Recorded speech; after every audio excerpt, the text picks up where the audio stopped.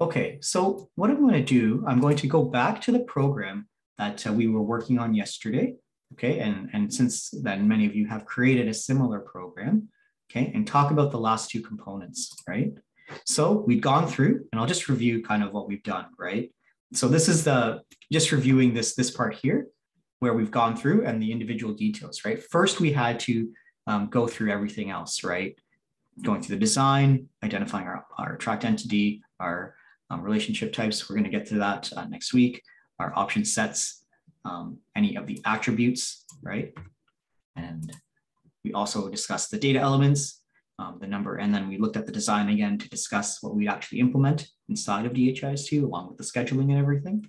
And then, you know, we're kind of at the stage where we're going through finally able to build the program after all these component pieces were in place, right? So um, we're just following this kind of stepwise approach uh, to create our program. So we entered in our program details, entered in our enrollment uh, details, added in our tracked entity attributes, which you know need to be made before we design the program. Uh, then we added in our program stages, and this is kind of where we got to um, yesterday, right? Before before the, the time was kind of up, right?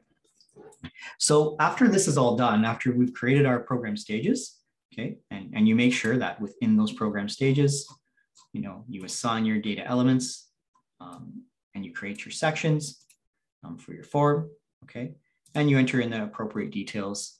Um, for, for, you know, there's several pieces of information that Pamela had reviewed um, the other day. And then we also provided links to the documentation because there are so many options um, that can be performed when creating your program. All right, so just depending on which stage you were looking at, there were different settings. We talked about this aspect of scheduling for some of the stages, for example. Some of them had, uh, you know, two to three months scheduling. So that was 60 days, for example, in this particular stage.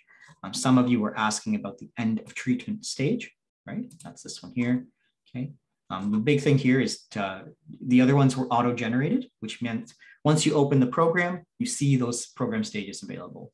We didn't automatically generate this end of treatment one, and we didn't put any scheduling. We just put zero here, right? Because if they die, if they're lost to follow-up, if something happens unexpectedly, or if they're cured before receiving their final phase of treatment, um, then they can end their treatment, right? Um, so that can happen at any point in time. So there's no real scheduling associated with that. Um, and then for the last stage, we also have this special option here ticked, ask user to complete the program when the stage is complete, because they've gone through all kind of the complete kind of continuum of care as it relates to this particular program, right? And these different options, you know, I'm, I'm talking about it as, as it is specific to this example, but you know, you just kind of got to th go through for each stage you create for every program you're looking at and decide, you know, which options you would apply um, you know, whether or not you want something automatically generated. If it's scheduled, for example, it's often a good idea so you can kind of see um, where, where the date is based on your enrollment date, for example, um, and, and, kind of have a look at how things um, are viewed, right? So we created the stages and now we're gonna move to the Access tab, okay? And I'm just gonna kind of explain that again um, so we're all on the same page here, all right? So in the Access tab, what we do is we assign the organization units um, of the program, and we can assign some sharing settings.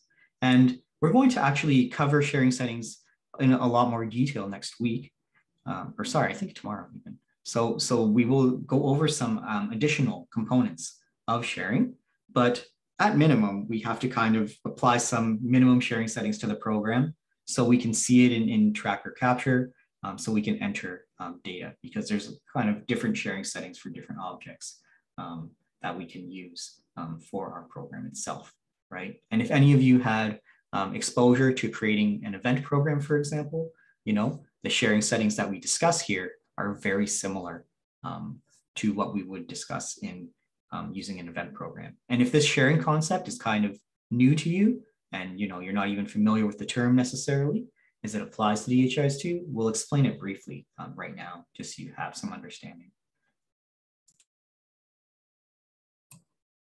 Okay, so the first thing we do is we uh, assign the program to our organization units, right? And this is basically allowing us to say, um, well, where do we want um, people to be able to access this program when they enter data? And thus, you know, when we perform analysis, it'll also be our lowest level available um, when we pull out information um, when we're performing analysis functions. Okay, um, so in this case, um, what has happened here? So there's many different ways we can assign um, this to the organization units. And this is very similar as if we're working with aggregate data sets or if we're working with event programs. Actually, the process is very similar, right? We just kind of select where we want these data capture or data entry organization units to be um, and also affecting our analyses, right? So we can go through and use any of these toggles um, associated um, with the access panel. So we can, for example, assign the program to all organization units within a specific level. So let me just deselect them, right? So this is what you'd see by default, zero organization units selected, right? So you'd have to decide um, which organization units you assign this to, right? So you can just branch out your, your tree by clicking on the, the arrow buttons, right? And then you'll see the levels um, within that. And if you want, you can just kind of select one by one, but chances are you're going to be assigning this to, to many organ, organization units, maybe um, all the hospitals in your system, maybe all the facilities in your system, uh, everything at a certain level within your system, right? Um, that can be quite cumbersome to do one by one, right? So that's why we have these toggles here, the organization unit level or the organization unit groups, right? So if I deselect again, and let's say I wanted to assign them to all of my um, all of my private hospitals, for example, I could select that group um, and then click on select, and then it'll go through um, and assign them just to the private hospitals uh, in my hierarchy, right? And I could continue and I could assign them to more groups if I just wanted to do a subset. So if I wanted to do district hospitals as well, yeah, I could do that. And you'll see it just adds it on. It doesn't remove the previous um, assignment. It'll only do that if I deselect or start to deselect, right? So I can deselect within a group, for example, deselect my district hospitals, it'll remove the assignment from the district hospitals, right? Now, often a common way um, to do it if we're assigning it to many organization units is to use the level function, right? So for example, you will, depending on your system, you know, it might not look anything like this. The names for all the levels, uh, maybe country is the only one that's shared and maybe all your other levels are named differently. Maybe there's local names for the levels as well, okay? But let's just pretend that we you know, are assigning everything to the lowest level in our hierarchy. And in our case, that's the facility. So if we were to select facility and say select, it'll just assign it to all the organization units um, in that facility, okay? So what this does is when I go to tracker capture or when I go to analysis eventually, right, because I've entered data, um, if I enter data, then I can perform analysis at the facility level with data that's present. I can enter data at the facility level by selecting this in tracker capture right? So this is the first step for our access to assign these uh, the, the program to the organization units where we want people to enter our data, all right? The second step is then to apply um, sharing settings, all right? So we're going to talk more about sharing settings, um, you know, later on, as I mentioned, okay? But what these sharing settings basically allow us to do is um, give us the secondary level access, right? Of, of what actual metadata uh, we can access within the system and what we can do with that, that information, right? How can we interact with certain components of the system, right? So let's say in our case, a user has access to all the organization units within Bird District, right? Now, what we have to do next is kind of say, well, within this program, when they access this program at a facility in Bird District, what can they do? right? Can they enter data? Can they just view the data? Um, can they just see the metadata, you know, um, associated with the program? Okay. Um, here, this is where we kind of define this, and we'll talk about this more um, to kind of suss this out and describe it in more detail um, going forward, right? But if I open up this dialog, okay, and, and hopefully some of this is a little bit familiar to you because you know you you would see the same thing when working with event programs, right? And what you'll see by, by kind of default often is that it might look like something like this or like this, okay, where public access um, is can edit and view and the data is set to no access and it's not assigned to any users or user groups. So all I did here is I clicked on the program, okay, to bring up that dialog, okay, and I'm just setting it to its default, um, what you would what you might see um, in a in a system if you're creating a program for the first time. Okay, so what we can do from here, and if I just select this uh, setting, you'll see the different levels of sharing, right? We have one um, setting for metadata and, and one setting for data, right? So the metadata is, of course, you know, all the um, variables and everything associated with the program. In this case, it's just applying settings to the program itself. So when I say metadata, I'm saying, you know, the program itself, are people going to be able to see it or not, right? Because if they can't see it, if I say no access, for example, then you're not going to be able to see the program, even though it's assigned to one of those organization units. If I have access to one of those and there's no metadata sharing applied, I won't be able to see the program um, in my selector at all, okay? Um, and same for the data, right? Then I won't be able to view any data associated with the program at all um, if, if I say no access, right? And often for the public user, so what we mean by public user is basically, you know, anyone who logs into the system, right? So if I have a login and I have permissions to go into Tracker Capture and, and either enter data or view some of the programs, right? What happens to that user type, okay? Are they able to see things by default or not?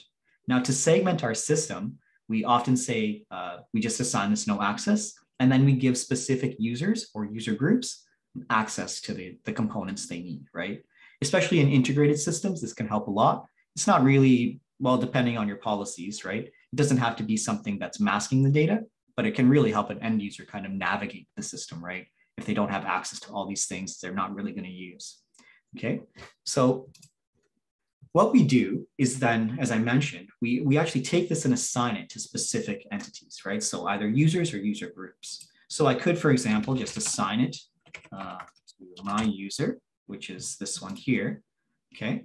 Um, and you would have your own user that you know you've been logging in with for a couple days um, in, in, order to kind of assign appropriate sharing settings um, for the program, right? The other thing that you'll notice is once you do this, well, well you won't notice it, but the others will, is, is your program will disappear from their list, right? Because we're working in an integrated setup right now. There's a lot of users um, making their programs, and you're probably you're able to see, you know, the program they've made. Um, but once you set up the sharing setting, they won't be able to see your program anymore. Okay, um, in maintenance.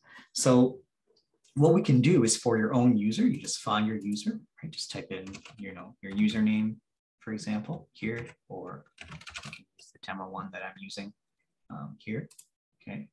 And then I select, you know, you can apply, sorry, I should say, uh, once I select this user, I, I can apply the sharing settings here before I add them in, okay? Because whatever I select here, that's what's going to be applied.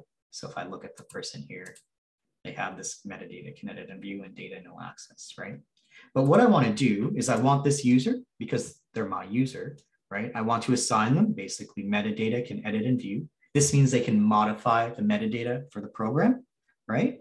And then I'll say data can capture and view because this means they can enter data and they can also view data associated with the program, essentially, okay? We're gonna cover these in more detail, but for now, um, I, I uh, just to make sure you can access your program um, in Tracker Capture um, in, in this exercise as well as the assignment. Okay, we just want to make sure you apply the appropriate sharing settings, but we will talk about the implications and different combinations of all this stuff um, in a bit, bit more detail. All right. Now, once this is done, okay, and I'll select apply. Okay. What I want to do then is basically, um, you'll see here this, uh, you know, kind of notification that says this differs from the program. All right. Um, because um, the sharing settings that I've applied here, if I open this up, oh, well, now it's the same, but it'll look like this, I guess. So let's say that this is the default, that what you're seeing, okay? Public metadata, read and write access, no public data access or something like this, okay? So because you can apply sharing settings both to your program as well as your program stages, and we're gonna talk about the implications of this later on because you can do some very interesting things by um, segmenting off your access and, and applying different sharing settings to your stages than to your program. But for now, we're just gonna apply the sharing settings uniformly, okay? So our user is going to have the same level of access to our program and our program stages. Now, once we've done it to our program, we can just cascade it down, okay? So we've set it all up correctly for our program for the moment, and we want the sharing settings for our program stages, each of the program stages we made to be the same, okay? So by default, they're all selected, but if they weren't, you know, it might look like this. You could just select all it'll select all the stages. And then what I'm gonna do to cascade the sharing settings down is select this apply to selected stages. And what that's, if I just click on this, okay, what it's going to do is take the sharing settings that I've applied to the program and cascade those down so they're exactly the same for each of my program stages. Okay, and you can see now that the, it's, this is the same settings that I've applied already. Okay, so for now, we're just going to keep the sharing settings the same between the program, program stages. We will talk about what it looks like um, when these are different later on. All right, but once this is done, okay, so I've applied all my axes, I click on save. And what I can do, I'll just go back to my program real quick, actually, and I'll just modify the version. Um, Pamo briefly touched on this variable, but it kind of forces you to download the latest version um, of this form. Um, and, and, in this case, it'll have, you know, the organization units have assigned and the sharing settings, for example, it says new um, parts of that version of the form. Um, what I can also do if I'm really paranoid and I want to make sure, sure things work, just go to my cache here, clear it out. Okay. And then I'll go to tracker capture after I've assigned those sharing settings. And then I'll attempt to find my program, right, in data entry. So I assigned it to the facility level. So depending on where you assign it, I can see it here. Uh, I'm able to register a case. I'm able to do this because I applied that, that data level access. Data can capture and view, right? So because I said my user can enter data, now I'm able to um, go into tracker capture and enter this data um, at this program level. Okay, um, so I can enter in some information, for example, and then hopefully, you know, because I applied sharing settings access levels to my stages, I should be able to interact with those as well.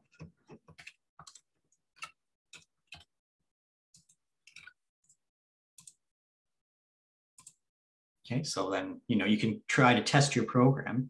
And, and I, I know some of you are having some challenges, so we'll try and help you through those um, now, okay? But you can see here that when I look at the program now, right, I see, for example, this is the day it was registered. This event is scheduled 60 days roughly. This is roughly 150 days um, from the date of uh, the date that I see here, okay? And then I have, if I go to add a stage, I'm able to add this end of treatment stage at any date, basically. Okay, and it's not scheduled, it's not automatically generated because I didn't tick that box, okay? Now I can enter data in each of these stages because this is just inherited the same level of access that my user had um, from my program. Okay, so I have data can capture and view access to all these program stages, and I have metadata can view, which means I can see all the variables. Okay, and I can interact with all the metadata, all the option sets, you know, everything, all the data elements um, in the program itself because uh, um, that's how it's been assigned in, in this scenario, right? I can see everything within this program stage, basically. Um, there, there's some more layers to this theoretically, but we're not going to get into that right now. But at least because I've said, okay, this, this user can enter data um, into this program stage and see the metadata for this, this particular stage. And I've done it the same for all three, right? So if I were to enter data here, I can also see the information. Same for this one. And then same for end of treatment, right? They're all the same because I've entered that information, okay? Or, or sorry, I've set up the configuration so they can enter information, right? Um, yeah, so, so that's kind of the, the last step in this process is to make sure, uh, here, let me just change some of these dates so it's in order still. Some of you were asking about this. Yeah. Okay, so that's the last step in this process. Um, when you after you create your program stages and everything, okay, you should assign the access uh, access control. And one thing I mentioned yesterday um, also is that you know sometimes if you want to kind of see the the program kind of as it's progressing, like maybe you've created one program stage and you just want to check it out, right? You just want to kind of see does it does it make sense um, anymore or not? And uh, in, in order to do that, you know, if I make one program stage, you might just want to go ahead and assign some access to the program right away, even if you have maybe you have two or three other stages or, or whatever, several other stages you're still working on. Um, what we've done in this scenario is kind of create the whole thing, and then go check it in Tracker Capture. We could enter some data, test it out, make sure it's kind of meeting our specifications. But you don't have to, you know, you can kind of move back and forth between those processes, right? You can make this stage and then you can assign assign it to some ORG units, assign some sharing settings, check it out, make sure it's that stage is okay, and then you can go back and continue with your configuration, um, especially if it's kind of a larger configuration and you're trying to keep track of several components. So you can jump around between these two steps um, a little bit um, if you need to, right? But you need a program stage in place before you can kind of go in and view the program. And then you need to sign, assign some level of access between the organization units and sharing um, in order to view the program um, in, in the actual uh, tracker capture, right? So, so that's kind of the last component of this. And if you hadn't had a chance to kind of complete the configuration um, of your program, you know, these are the kind of final two exercises, I think, um, in that learner's guide. Um, you could have a look at kind of going through those. If you've tried to do this for your program and you're not seeing what you expect um, in data entry, maybe you can troubleshoot a little bit and see if this was the reason. If it's not, you know, let us know and we'll work through it. We can access your program even and have a look together. You can let us know on Slack. Okay. Um, so what I'm going to do now, I'm just going to give everyone a little bit of time. Okay. Um, in order to work through the last part of the learner's guide, the last couple exercises, in case you hadn't had a chance um, to complete your program or you're kind of looking at um, um, completing the, the program here, right? So if I look at exercise 12 and 13, the last two exercises, okay, in the worksheet, uh, in the learner's guide, okay, just goes over assigning access and kind of walks you through step by step in case you missed a step when I was presenting. Um, and it will allow you to kind of go through that. And then after you're done, you know, like I said, make sure you go to tracker capture and check if everything's appearing correctly. If it's still not, and you've kind of gone through and checked everything, you've assigned your data elements, your attributes, you've assigned your sharing settings, assigned it to organization units, um, you know, let us know and we'll, we'll try and walk you through, you know, we can, we can communicate with you. Okay, just the uh, best way will be on Slack, I think, if there are questions about that. All right. So give everyone um, just about an, another 10 minutes before we come back together, okay, to give it a try um, and go through these two exercises. Um, and then uh, we'll I'll, then I'll introduce the assignment, that graded assignment. All right. So if there are any questions about anything, um, just let us know um, on Slack, uh, preferably, but of course we'll also answer in the Zoom chat if needed.